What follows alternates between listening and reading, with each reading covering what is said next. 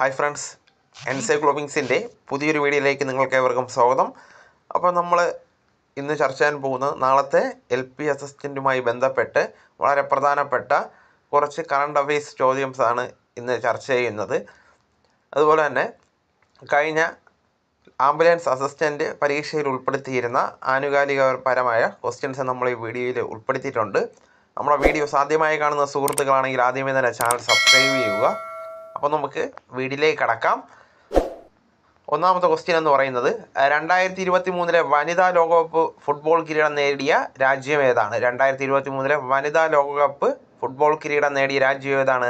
Answer എന്ന് പറയുന്നത് സ്പെയിനാണ് അതുപോലെ മനുഷ്യനെ ബഹിരാകാശത്തെത്തിക്കാനുള്ള ഇന്ത്യയുടെ പദ്ധതി ഏത് പേരിലാണ് അറിയപ്പെടുന്നത്? ഗഗയ്യാൻ. ദേശീയ മനുഷ്യാവകാശ കമ്മീഷന്റെ ആദ്യ അധ്യക്ഷൻ ഇപ്പോഴത്തെ അധ്യക്ഷൻ ആരാണ്? Arunkumar Mishra.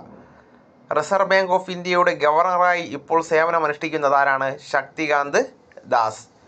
കേരളത്തിലെ ഏറ്റവും ആഴം കൂടിയ തുറ- തുറമുഖം ഏതാണ്? വിഴിഞ്ഞം തുറമുഖം. കേരളത്തിലെ തദ്ദേശ സംഭരണ വകുപ്പ് മന്ത്രി ആരാണ് ഇപ്പോഴത്തെ? M B Rajesh. അടുത്ത ക്വസ്റ്റ്യൻ ഐക്യരാഷ്ട്ര സംഘടനയുടെ ചാമ്പ്യൻസ് ഓഫ് എർത്ത് പുരസ്കാരത്തിന് അർഹമായ വിമാനത്താവളം ഏതാണ്? നെടുമ്പാശ്ശേരി വിമാനത്താവളം. കേരളത്തിലെ ആദ്യത്തെ കാർബൺ ന്യൂട്രൽ പഞ്ചായത്തായി തിരഞ്ഞെടുക്കപ്പെട്ടത് ഏത് പഞ്ചായത്താണ്? ഏതാണ്? മീനങ്ങാടി. മഹാത്മാഗാന്ധി ഗ്രാമീണ തൊഴിലുറപ്പ് പദ്ധതിയിൽ സോഷ്യൽ ഓഡിറ്റിങ്ങിൽ ഇന്ത്യയിൽ ഒന്നാമതെത്തിയ സംസ്ഥാനം ഏതാണ്? കേരളം. രണ്ടായിരത്തി ഇരുപത്തി മൂന്നിലെ വയലാർ അവാർഡ് നേടിയ ജീവിതം ഒരു പെൻഡുലം എന്ന കൃതി രചിച്ചതാരാണ് ശ്രീകുമാരൻ തമ്പി. അതുപോലെ ശാസ്ത്രലോകത്ത് ഇന്ത്യയുടെ അഭിമാനമായ ചന്ദ്രയാൻ മൂന്ന് വിക്ഷേപിച്ച തീയതി എന്നാണ് രണ്ടായിരത്തി ഇരുപത്തി മൂന്ന് ജൂലൈ പതിനാല്. രണ്ടായിരത്തി ഇരുപത്തി മൂന്ന് ജൂലൈ പതിനാല്. രണ്ട മെയ് പതിനേഴിൽ കേരളത്തിൽ ശാസ്ത്രീകരണത്തിന് വേണ്ടി പ്രവർത്തിക്കുന്ന ഏത് സംഘടനയുടെ ദിനമായിട്ടാണ് ആചരിക്കുന്നത്? അപ്പം മെയ് പതിനേഴ് കേരളത്തിൽ സ്ത്രീ ശാക്തീകരണത്തിന് വേണ്ടി പ്രവർത്തിക്കുന്ന ഏത് സംഘടനയുടെ ദിനമായിട്ടാണ് ആചരിക്കുന്നത്? ഏത് സംഘടനയാണ്? കുടുംബശ്രീ. യുനെസ്കോ സാഹിത്യ നഗരം പദവിയുമായി ബന്ധപ്പെട്ട് ഈയിടെ വാർത്തകളിൽ വന്ന കേരളത്തിലെ നഗരം ഏതാണ്? കോഴിക്കോട് അമേരിക്കയിലെ മൈക്രോൺ ടെക്നോളജി താഴെ പറയുന്നവയിൽ ഏത് ഇന്ത്യൻ സംസ്ഥാനത്താണ് സെമി കണ്ടക്ടർ പ്ലാന്റ് നിർമ്മിക്കുന്നത്? ഏത് സംസ്ഥാനത്താണ് ഗുജറാത്ത്?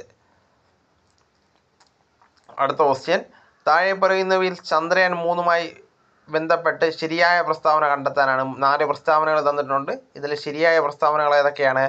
പ്രൊജക്ട് ഡയറക്ടർ വീരമുത്തുമേൽ അതുപോലെ വിക്ഷേപണ വാഹനം ഏതാണ്? എൽ വി മാർക്ക് ത്രീ വിക്ഷേപണ തീയതി ഏതാണ്? ജൂലൈ പതിനാല് രണ്ടായിരത്തി ഇരുപത്തി മൂന്ന്. ഏകദിന ക്രിക്കറ്റ് മത്സരത്തിൽ ഒരു ഓവറിൽ നാല് വിക്കറ്റ് നേടിയ ഇന്ത്യൻ ബൗളർ ആരാണ്? മുഹമ്മദ് സിറാജ്. രണ്ടായിരത്തി ഇരുപത്തി മൂന്നിൽ ഇന്ത്യയിൽ നടന്ന ജി ട്വന്റി സമ്മേളനത്തിന്റെ ഇന്ത്യൻ ഷെർപ്പാരായിരുന്നു അമിതവ് കാന്താണ്. രണ്ടായിരത്തി ഇരുപത്തി മൂന്നിൽ നടന്ന ഏഷ്യൻ ഗെയിംസുമായി ബന്ധപ്പെട്ട് ശരിയായത് തിരഞ്ഞെടുക്കാനാണ് ഇന്ത്യ നേടിയ ആകെ മെഡലുകളുടെ എണ്ണം നൂറ്റിയേഴ്. ഏഷ്യൻ ഗെയിംസ് നടന്ന എവിടെയാണ്? ചൈനയിലാണ്. പുരുഷ ക്രിക്കറ്റിൽ ഇന്ത്യയ്ക്ക് ലഭിച്ച സ്വർണ മെഡലാണ് ഇന്ത്യയ്ക്ക് ലഭിക്കുന്നത്. ഇത് മൂന്നും ശരിയായ പ്രസ്താവനകളാണ്. രക്തജന്യ രോഗവുമായി ആയ ഹീമോഫീലിയ അരിവാൾ രോഗം തലാസീമിയ തുടങ്ങിയവയുടെ സമഗ്ര ചികിത്സ ഉറപ്പാക്കാൻ കേരള ആദ്യ ആരോഗ്യ വകുപ്പ് ആരംഭിച്ച പദ്ധതി ഏതാണ് ഏതാണ്? ആശാധാര അടുത്ത ക്വസ്റ്റ്യൻ രണ്ടായിരത്തി ഇരുപത്തി മൂന്നിലെ ലോക പരിസ്ഥിതി ദിന സന്ദേശം ഏത് മലിനീകരണവുമായി ബന്ധപ്പെട്ട് വിഷയമാണ്? ഏതാണ്? പ്ലാസ്റ്റിക് മലിനീകരണം.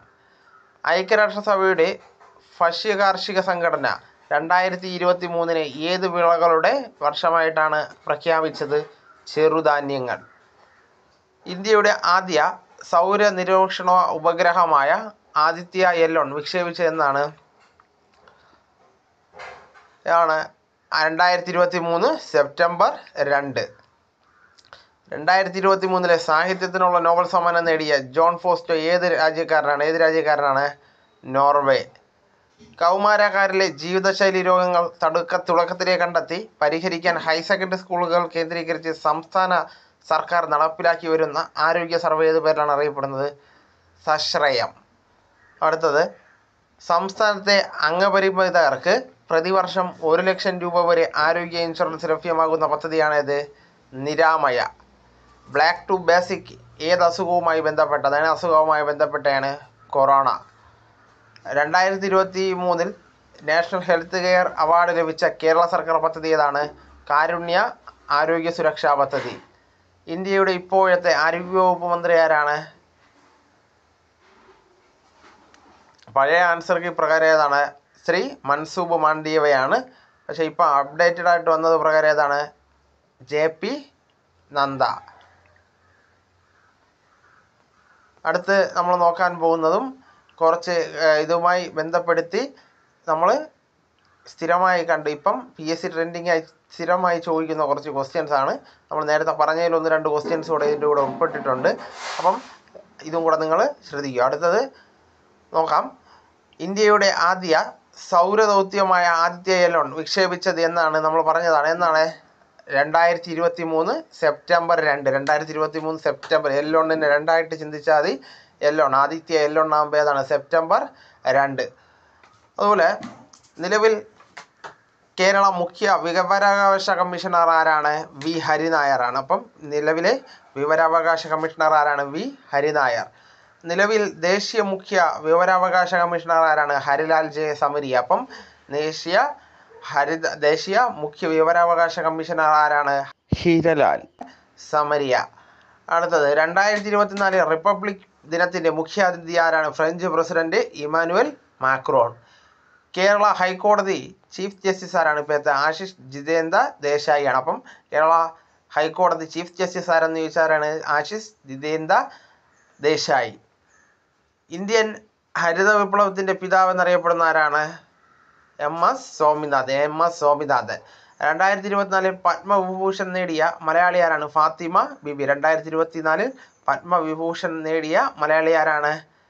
ഫാത്തിമ ബിബി. ഏകീകൃത സിവിൽ കോഡ് പാസാക്കിയ ആദ്യ ഇന്ത്യൻ സംസ്ഥാനം എന്ന് ചോദിച്ചതാണ് ഉത്തരാഖണ്ഡ്. അപ്പോൾ ഉത്തരാഖണ്ഡാണ് ഏകീകൃത സിവിൽ കോഡ് പാസാക്കിയ ആദ്യ ഇന്ത്യൻ സംസ്ഥാനം. ഗഗയാൻ ദൗത്യത്തിൽ ഗ്രൂപ്പ് ക്യാപ്റ്റനായിരുന്ന മലയാളി ആരാണ്? ആവുന്ന ആയിരുന്നല്ല ആകുന്ന മലയാളി ആരാണ്? പ്രശാന്ത് ബാലകൃഷ്ണൻ നായർ. നിലവിൽ ലോക്പാലിന്റെ ചെയർമാൻ ആരാണ്? എ എം ഗാൻവിൽക്കറാണ് ചെയർമാൻ. പതിനാറാമത് ദേശീയ ധനകാര്യ കമ്മീഷന്റെ ചെയർമാൻ ആര്? അരവിന്ദ് പനഗരിയ. അതുപോലെ ദേശീയ പട്ടികജാതി കമ്മീഷൻ ചെയർമാൻ ആരാണ്? കിഷോർ മാക്വാന. അപ്പം ദേശീയ പട്ടികജാതി കമ്മീഷൻ ചെയർമാൻ ആരാണ്? കിഷോർ മാക്വാന. മുപ്പത്തിമൂന്നാമത് സരസ്വതി സമ്മാനം നേടിയതാരാണ്? പ്രഭ വർമ്മ.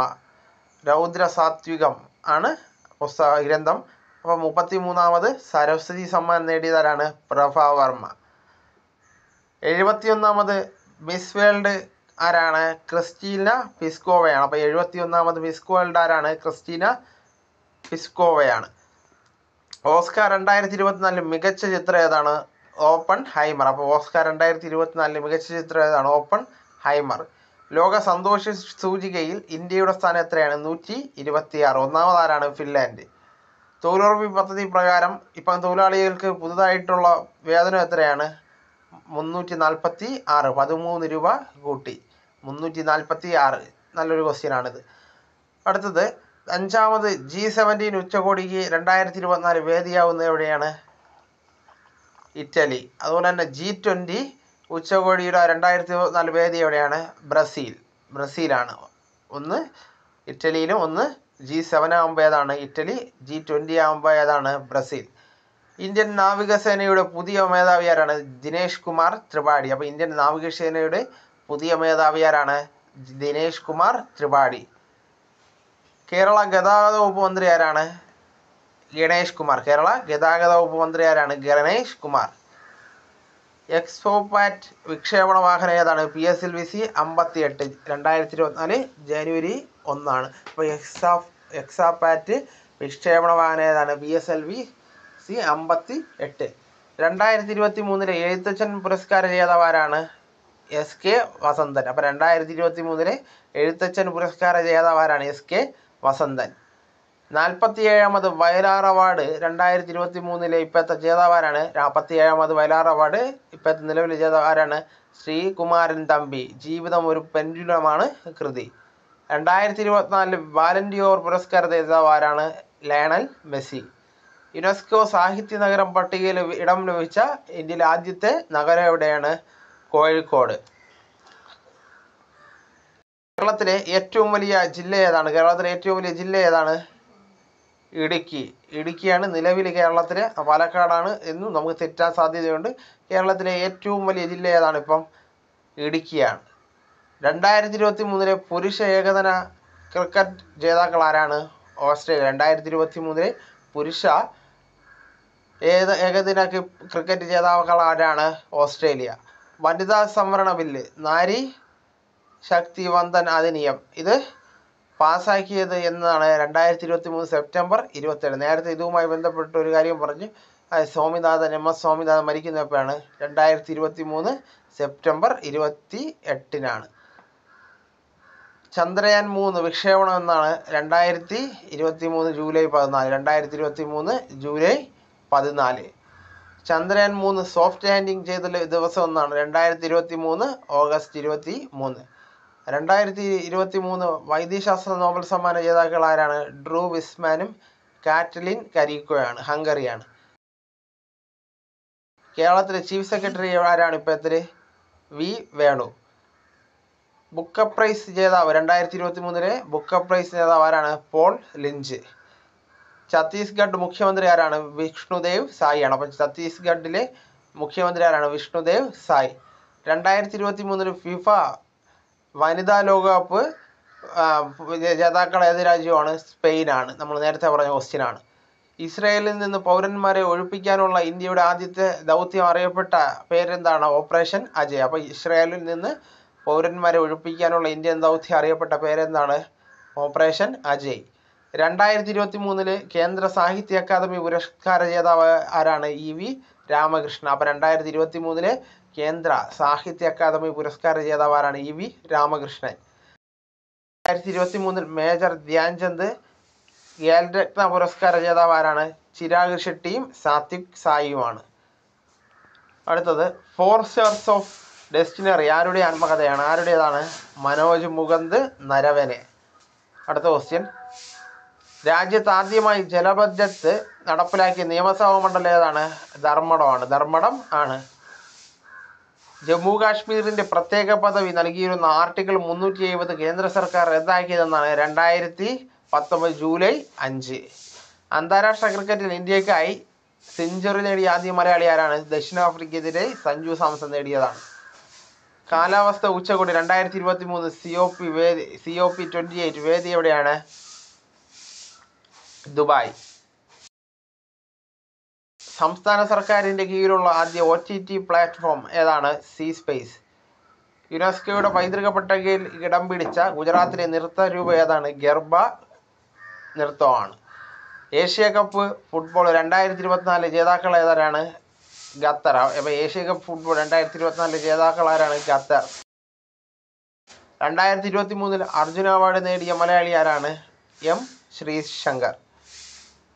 രണ്ടായിരത്തി ഇരുപത്തിനാല് ഓസ്ട്രേലിയൻ ഓപ്പൺ പുരുഷ ഡബിൾസ് ജേതാവ് ആരാണ്? ഇന്ത്യക്കാരാണ് ആരാണ്? രോഹൻ ബൊപ്പണ്ണെ രണ്ടായിരത്തി ഇരുപത്തിനാല് ഹരിഹരാസനം പുരസ്കാര ജേതാവ് ആരാണ്? P K Veeramani Das. രണ്ടായിരത്തി ഇരുപത്തി മൂന്നിലെ അമ്പത്തി മൂന്നാമത് ഓടക്കുഴൽ പുര പുരസ്കാര ജേതാവ് ആരാണ്? P N Gopikrishnan. രണ്ടായിരത്തി ഇരുപത്തി ഒന്നിലെ സ്വാതി തിരുനാൾ പുരസ്കാരം സ്വാതി സ്വാതി സംഗീത പുരസ്കാര ജേതാവ് ആരാണ്? പി ആർ കുമാരകേരള വർമ്മ രണ്ടായിരത്തി ഇരുപത്തി മൂന്നിലെ സാമ്പത്തിക നോബൽ ജേതാവ് ആരാണ്? Claudia Goldin. രണ്ടായിരത്തി ഇരുപത്തിരണ്ട് ഇരുപത്തി മൂന്നിലെ സ്വരാജ് ട്രോഫി മികച്ച ഗ്രാമപഞ്ചായത്ത് ഏതാണ്? സ്വരാജ് ട്രോഫി എന്ന് വെച്ചാൽ മികച്ച ഗ്രാമപഞ്ചായത്തുകൾക്ക് നൽകുന്നതാണ്. ഏത് ഗ്രാമപഞ്ചായത്താണ്? വലിയ പറമ്പ. രാജ്യത്തിലെ ആദ്യത്തെ സമ്പൂർണ ഡിജിറ്റൽ സാക്ഷരതാ ജില്ല ഏതാണ്? കാസർഗോഡ്. അടുത്തത് ബി ശ്രീദേവി എന്നത് ആരുടെ തൂലിക നാമമാണ് ആരുടേതാണ്? ആരുടേതാണ്? എൻ. കുട്ടിക്കൃഷ്ണ പിള്ള. ബി. ശ്രീദേവി എന്നത് ആരുടെ തൂലിക നാമമാണ്? എൻ. കുട്ടിക്കൃഷ്ണ പിള്ള. അപ്പോൾ ഇന്നത്തെ വീഡിയോയിൽ നമ്മൾ ഇത്രയും കാര്യങ്ങളാണ് ഉൾപ്പെടുത്തിയിട്ടുള്ളത്.